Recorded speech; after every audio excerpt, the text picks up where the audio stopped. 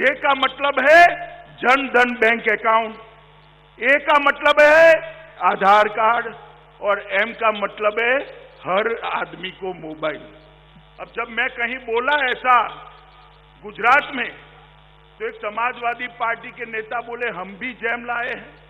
मुझे थोड़ा आश्चर्य लगा। मैंने एक पत्रकार को पूछा कि भाई, ये कौन सा जैम लाए है? जरा जाँच करो तो। उसने कहा, आपको मालूम नहीं है मैंने बोला, नहीं, मुझे नहीं मालूम है। उन्होंने कहा, उनके जैम का मतलब है जे से जिन्ना, ए से आज़म खान और एम से मुख्तार। अब भाई, आप मुझे बताओ, आपको भाजपा का जैम चाहिए या समाजवादी पार्टी का चाहिए?